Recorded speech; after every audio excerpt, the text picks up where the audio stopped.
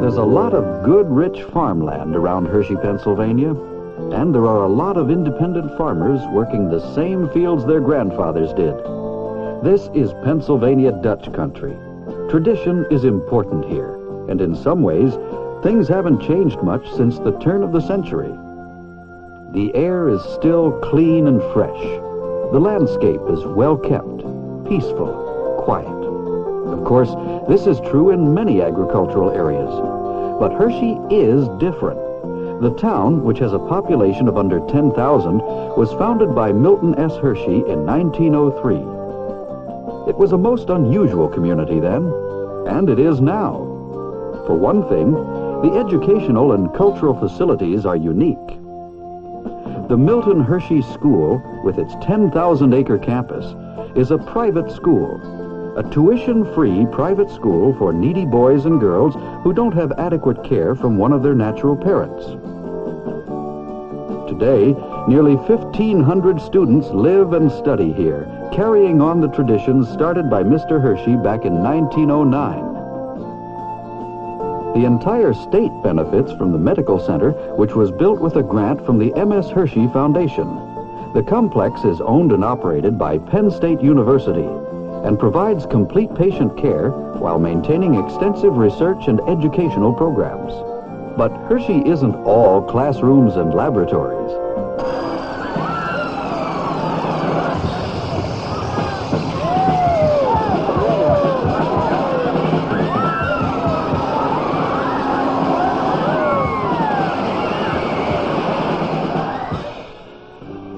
Hershey Park is a happy experience for every member of the family.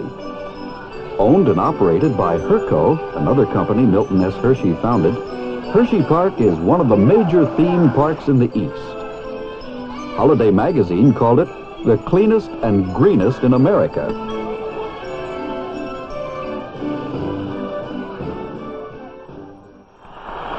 The arena next door is the home of the Hershey Bears of the American Hockey League. And there's some headline event going on in town almost every night. In sports, theater, music, and dance, the people around here are accustomed to seeing big names from Hollywood, New York, Nashville, as well as touring foreign performers. The little rural community of Hershey attracts nearly 2 million visitors every year. Many come to see the formal rose gardens, and those who enjoy golf will find there's more golf per square foot than any place else in the world. Hershey is a most unusual community. And the reason goes back to the year of 1903 when Milton Hershey decided to build the world's largest chocolate factory in the cornfields of Derry Township. This is where it all began. The town grew up around the factory, independently but benefiting from steady employment and Mr. Hershey's personal legacy of concern for the community and the individual. While things in and around the factory have changed over the years, the taste of milk chocolate is as popular as ever, and the business of making milk chocolate products is as fascinating as ever.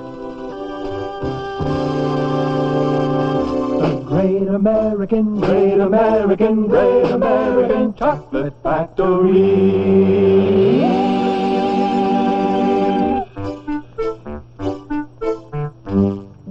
Chocolate is a happy flavor. It's America's favorite, and it blends happily with other natural flavors. There are probably hundreds, maybe thousands of different ways we can enjoy chocolate in foods we buy at the store or make at home.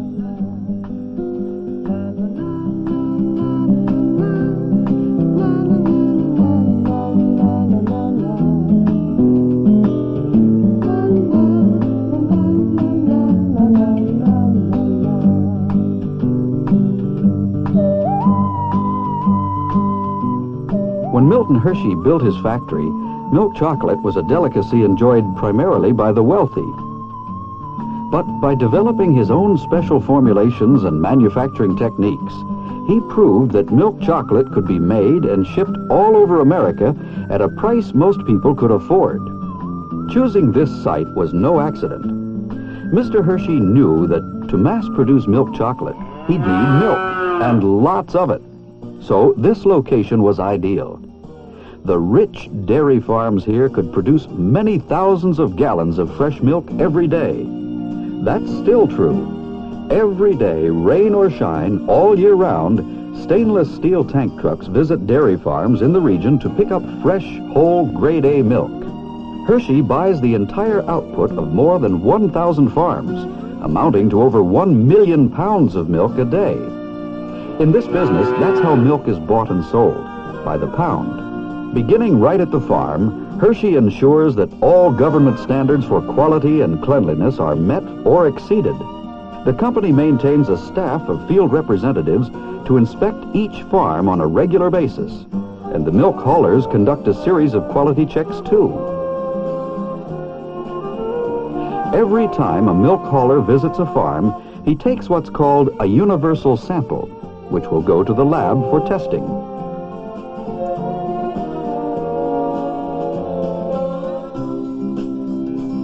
The tank trucks hold up to 6,000 gallons, or about 50,000 pounds of milk. The receiving station at the factory is open 24 hours a day, and the trucks are thoroughly scrubbed and sanitized after each delivery. The universal sample from each farm is brought immediately to the milk receiving laboratory. Here, tests for bacteria count and butterfat content are among the many conducted in a continuous, tightly controlled quality assurance program. But obviously, it takes more than milk to make milk chocolate. And the factory requires a constant flow of natural ingredients from many different countries around the world. In the lush tropical growing areas of South and Central America, Africa, and the South Pacific, we find such fruits as coconuts, bananas, pineapple, and we also find vast fields of sugarcane. Unlike most crops, which are grown for their fruit or leaves or roots, it is the cane itself, the stalk, that is important here. When the cane is ready, harvest crews work seven days a week to bring in the crop. The large knife they use is called a machete, a universal tool in tropical agriculture.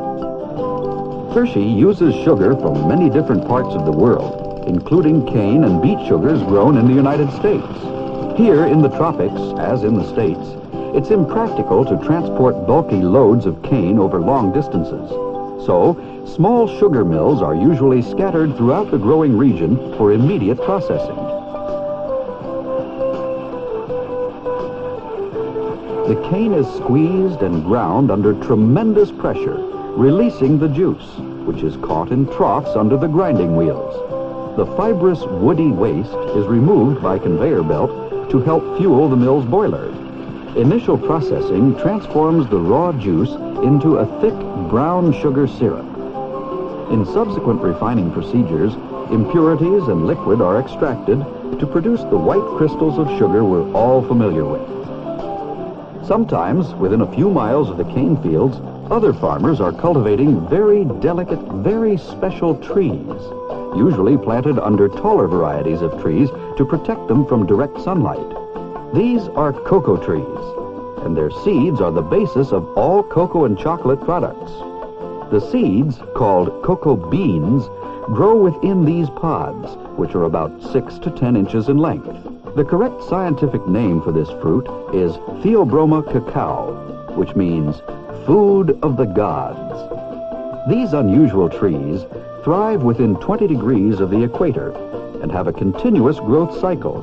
The fruit seems to be attached haphazardly because the tiny blossoms grow directly from the trunk or main branches instead of at the ends of smaller branches. This is nature's way of protecting the heavy clusters of ripened fruit, which need solid support. It takes five to six months for the pods to reach maturity, and harvesting techniques vary from region to region from farm to farm. In many areas, the growing and marketing of cocoa beans is the prime source of income, and the small independent farmer, like his counterpart in other agricultural areas of the world, depends upon a good harvest. But since the trees have a continuous growth cycle, There is no one week or month when an entire crop is ready. The pods are cut down as they ripen. In some larger operations, the pods are collected and taken to a central station for opening. Often, as in this case, they're opened in the field with razor-sharp machetes. Working side by side, father and son efficiently strip the wet beans from the pods onto handy banana leaves. An expert worker can open seven or eight pods per minute, each one containing 30 to 40 cocoa beans, surrounded by a white pulp. Beasts of burden still play an important role in many cocoa growing regions as small farmers bring their beans to a central area for fermentation and drying. Here, payment is made by the box, a volume measurement that's equal to about 30 pounds of wet beans. The cocoa beans are then heaped into piles and allowed to ferment. Natural fermentation causes a chemical change in the pulp, which helps develop the color and flavor of the cocoa bean. It also hardens the skin of the bean into a protective shell, which will be removed later in the factory. The piles are covered with plantain or banana leaves to help contain the heat during the five to six day fermentation process. The fermented cocoa beans are then spread out to dry in the sun for six to seven days. They're turned over regularly, and these drying platforms are built on tracks so that in the event of rain, they can be rolled under tin roofs for protection. The dried beans are less susceptible to disease and mold, and they are now ready for shipment overseas. A tropical port is a busy place, with a variety of agricultural produce being exported and an even wider variety of manufactured goods being imported. In larger ports, railroad tracks go right out onto the docks the dried cocoa beans, now packed in 140-pound bags, are transferred from a boxcar to the hold of an ocean-going freighter. Destination, the United States of America. Cocoa beans, en route to the factory in Hershey, will arrive at one of our large East Coast ports of entry, often Philadelphia. The beans are quickly offloaded and the first of a continuing series of quality assurance tests and inspections begins right here. With a device called a thief, samples are taken from each incoming shipment for laboratory analysis. Carloads of beans arrive at the factory throughout the year from the world's great cocoa growing regions. Beans from Ghana and Nigeria, from Brazil and the Dominican Republic, from New Guinea and Malaysia, actually from more than a dozen different countries. And because each region produces a bean with its own distinctive flavor, each is delivered automatically from the rail siding to individual storage silos. The total capacity of this facility is 90 million pounds. And if you want to figure it out, you'll find that'll make a lot of chocolate bars. There's a constant flow of incoming ingredients acres of warehouse space are devoted to the storage of peanuts and almonds. Hershey uses huge quantities of almonds, some of them coming from the company's own groves in California. Peanuts arrive in even greater quantities. Thousands of tons a year from our southern and southwestern states pass through this warehouse to be used in a variety of products. In the research laboratories, this panel plays a significant role in determining how ingredients will be used. Which new product recipes will actually go into factory production? Being a member of the taste panel is an unusual job and a great responsibility, identifying and charting subtle differences in flavor, fragrance, texture.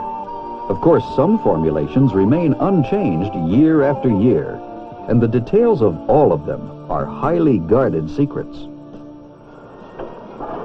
Factory production schedules determine the quantities of specific ingredients that will be drawn from storage on any given day. Since five or six different types of chocolate may be in production at the same time, scheduling the flow of cocoa beans is especially complex. Beans are withdrawn from the storage silos according to type and origin. In an elaborate cleaning and sorting machine, currents of air and a series of sieves remove foreign matter. Then, they are routed by conveyor belt to a storage tank which supplies the blending department.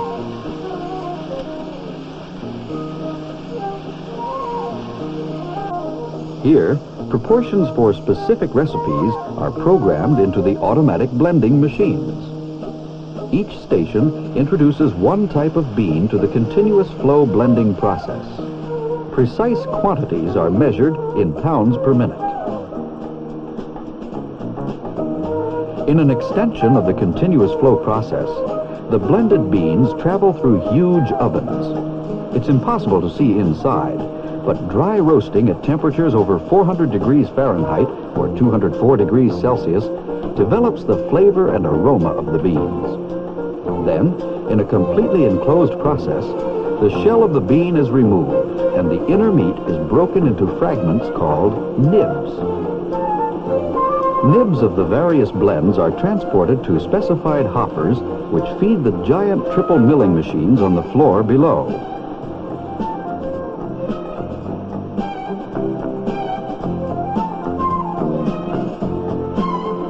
The roasted nibs have a natural cocoa butter content of about 55%, which is released during the milling process. The result is a free-flowing liquid. Traditionally, this has been called chocolate liquor, although it has no alcoholic content. All products made in the factory begin with this liquor. However, back before Milton Hershey went into business, it was discovered that chocolate beverages tasted better when the cocoa butter content of the liquor was reduced. So in making cocoa and cocoa products today, these giant presses squeeze most of the cocoa butter out of the liquor.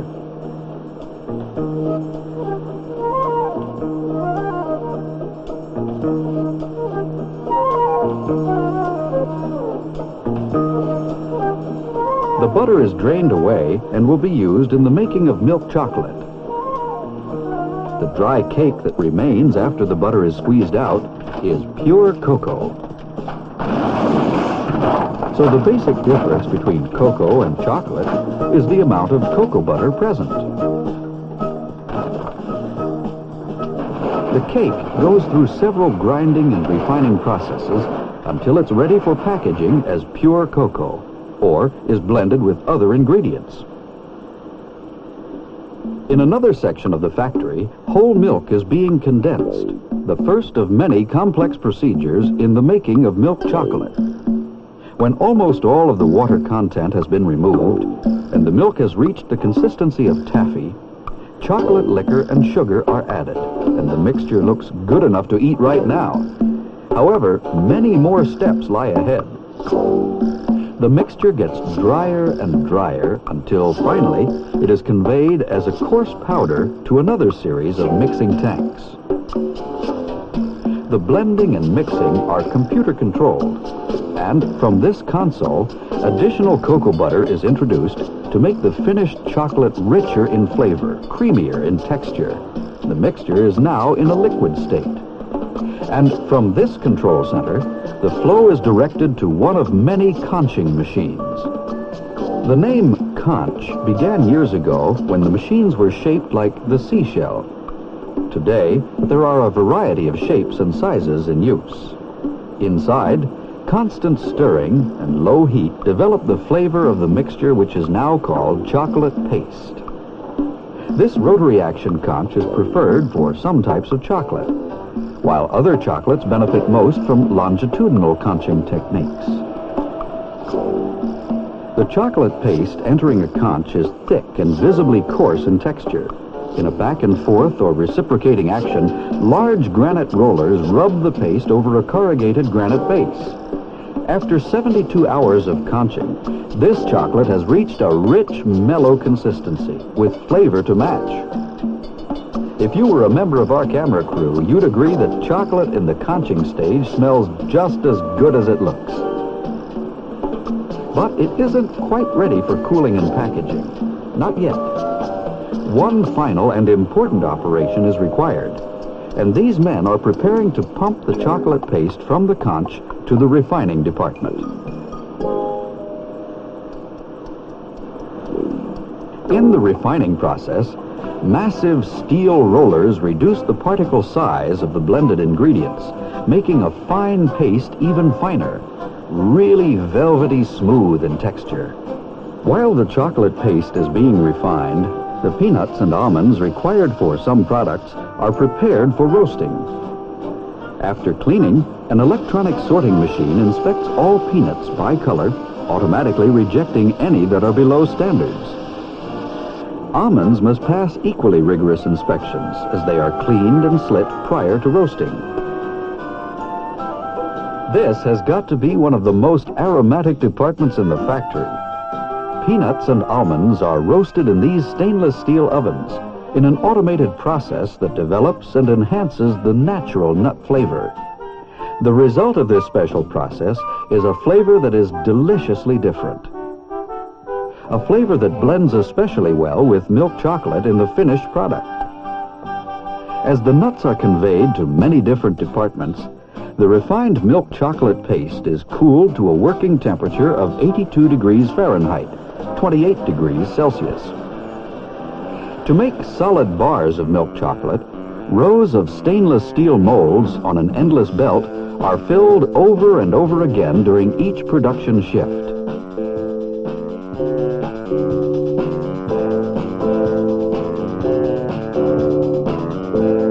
The belt passes under two depositors, each filling alternate rows of molds automatically. If an almond bar is being molded, the nuts are deposited in the molds before the chocolate.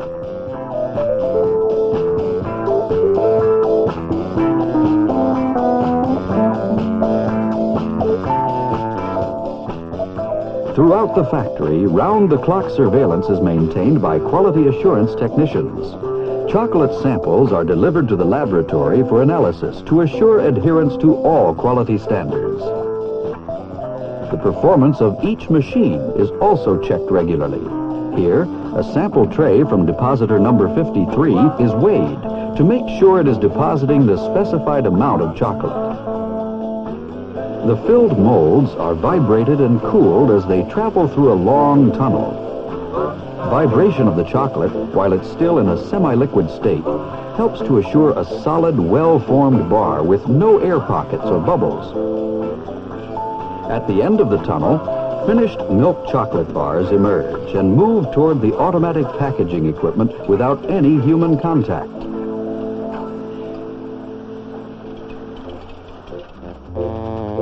Of course, not all chocolate is molded. This unique shape is achieved by ejecting or dropping chocolate onto a moving belt.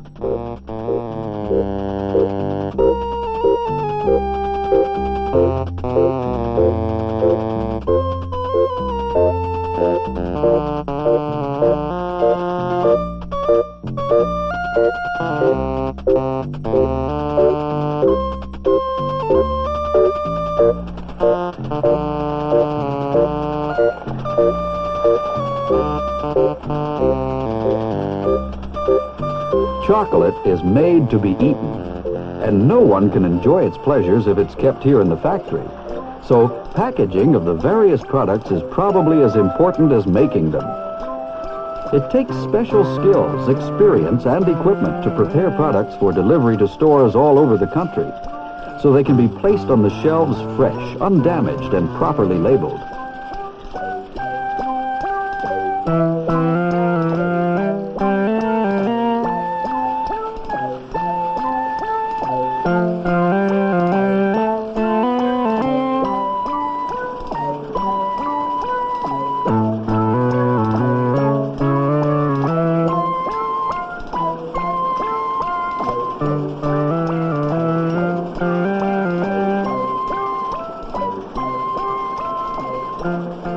Chocolate bars, liquid syrups, and powdered cocoas require different types of containers in a wide variety of sizes.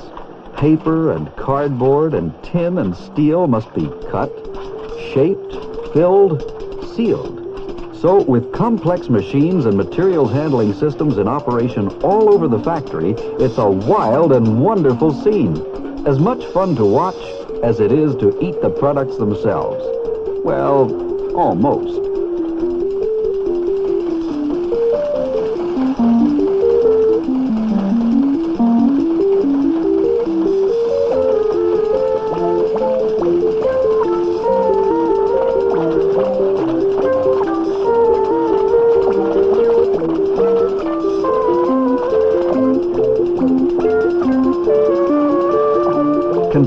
Are filled and weighed automatically.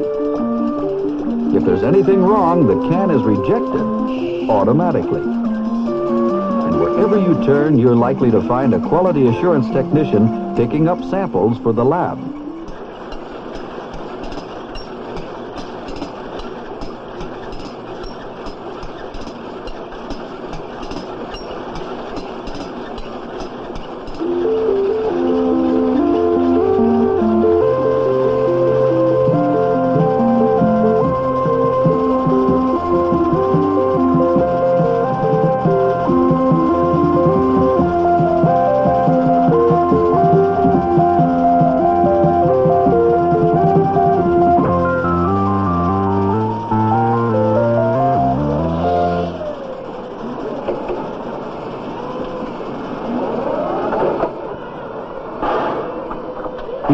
Any product leaves the factory, it and its ingredients have been checked, tested, analyzed, and scrutinized every step of the way.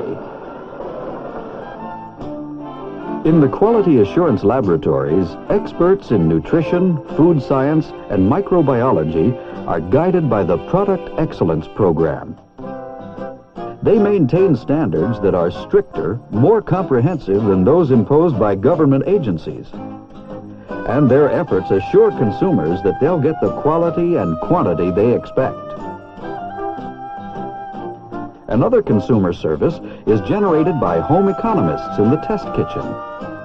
These specialists experiment with chocolate and cocoa in a wide range of recipes that can be followed in the home. Successful new ideas and traditional favorites are photographed so collections of illustrated recipes can be printed for free distribution. Press releases are also used by newspapers and magazines all over the country without mention of brand names, introducing readers to new and delicious uses of chocolate. We hope you've enjoyed this brief introduction to the Great American Chocolate Factory and the community surrounding it. Chocolate is a happy flavor, and this is a happy town. If you ever get a chance to visit, you might want to see Chocolate World, where a simulated tour of the factory is conducted all year round with no charge for admission. Thanks for watching, and have a happy day.